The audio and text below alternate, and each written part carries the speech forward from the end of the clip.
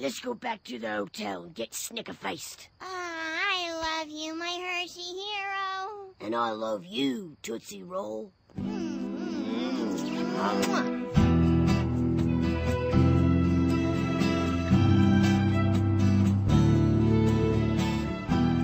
Happy Valentine's Day and shut your gum.